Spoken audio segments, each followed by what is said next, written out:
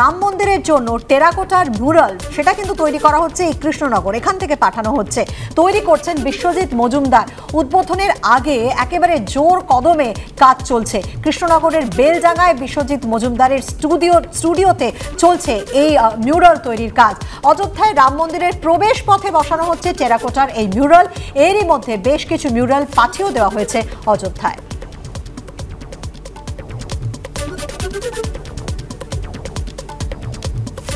네,